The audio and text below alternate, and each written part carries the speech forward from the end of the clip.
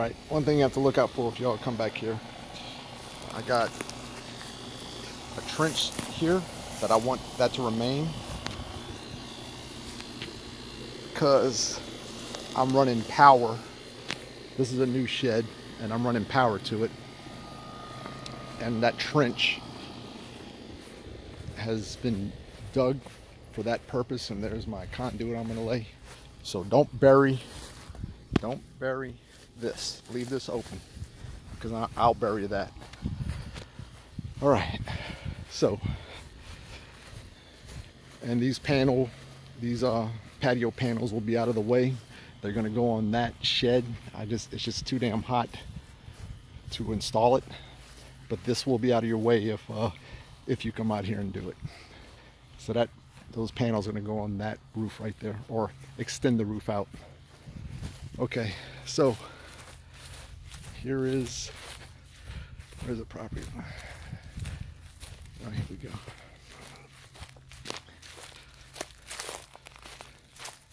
So this is from this point that way and from this point to the road that's that's the one acre that is one whole acre and then the opposite way from this acre and back there that's three and a half acres total. So you don't have to touch none of this. The three and a half is not going to be touched now. That'll be a later date.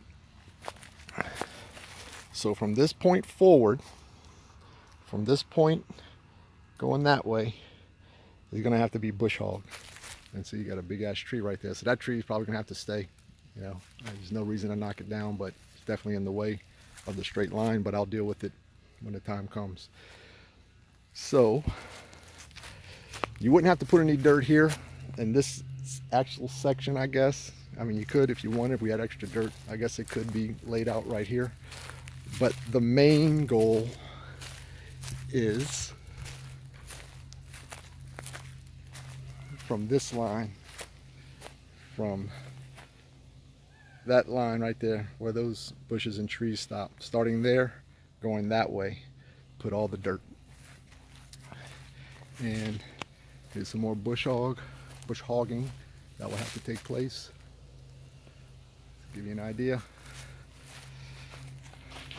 So it's about a hundred uh, maybe about 200 foot 250 foot from post to post.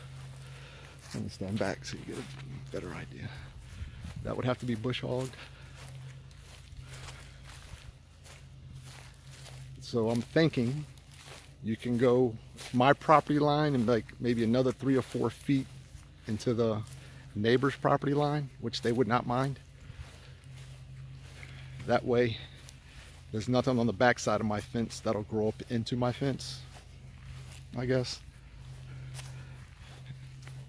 And it'll be nice and clear on the back side of the fence. Right, here we go. Give you a good shot. What's going on here? So boom, boom, and it looks like, let's see, property line's right behind that tree back there. So,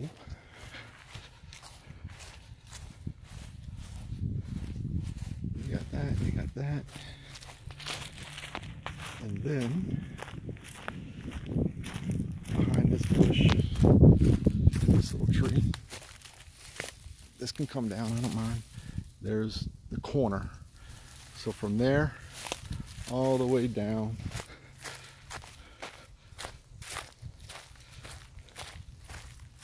to where that other post was where I started walking from. And I'm eventually going to want to get from this line to the street cleared out, but that could be another day. I'm not really concerned about that just yet. But I'll definitely want to get that done because I want to put a nice fence on this side too. But you can see what's going on with this. See, that's all, that would all have to be trenched through. Because I like the wall of trees for privacy. So if I look back where my uh, where that other post is, probably about right here. Yeah, you're going right through, boom, all of that. So I would, I don't mind having this stuff, but if I can have a clear line up in there to lay a fence, that'd be great. But again, that's another day. That will not have to be taken care of this this time. So there's another wide shot. And, you know, lay the dirt all the way up to, uh, I guess, the end of the mobile home. So boom. So like right here, let me see. Yeah, to the to the end of the mobile home, that way, all dirt. So basically cover all of this to where I don't see any, oh, look at that. See, I just stepped in a hole right there. God damn it. Look at that. I used to be a pine tree hole. See, things like that, dude, all over this land. Just need it all filled up. So uh, cover all that when I don't see any grass. And I guess it self-compacts itself with the weather as the weather rains and stuff. I am guessing, I don't know. But make it smooth as ice. And then we come over here to the those holes. Like here's here's a bad one. That's just where a tree stump uh, grinded the stump used to be. That's a that kills my back. This is a little bit that smaller uh, sinkhole, I guess you can say. This is the smaller one. I'm in the middle of it right now. And then the big one is right here. I hope you can see this because there's a massive glare on my phone and I can't see it, but I'm standing in the middle of it right now. Right.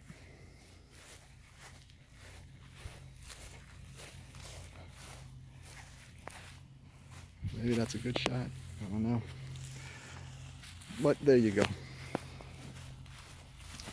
And also, if you do come walk over here, I'm letting you know where all the ankle breakers are. So you have the uh, you have the conduit trench I want to keep, but also there's a water water line here. Let me find it.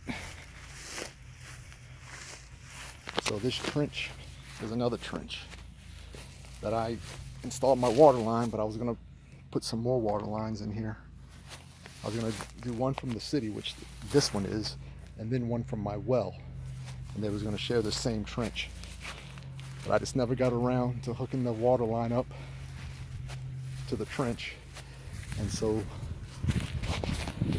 this has been exposed for a couple of years and I just never got around to filling it up. I guess I'd want to get some dirt to fill this up now. Because I don't mind this being filled up now. Yeah, see? So I'm just saying, you come here, just watch your step. Because you will, you will be breaking your ankle. All right, dude. That's to give you an idea. Give you the address.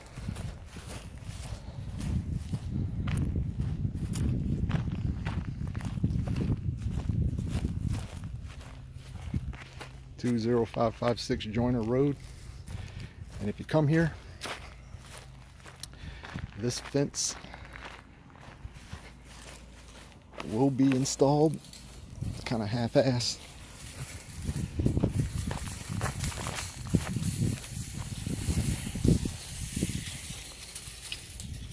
So this fence, god damn it, over here. Fence will just be latched like that, right? Just come here and just pop it off. Make sure you put it back on both of them. So when you pop that off, you have to lift this, get it off that, and then roll it off to the side where it was when I just picked it up. And that's how you would drive in here. And you can drive in between the electric posts. Yeah, just go ahead and you can drive in or you can just park right here and just walk to the back. But again, if you walk to the back, watch out for this trench right here for the water. You will twist your ankle. All right, man. I think you've seen enough. I'll shut it down.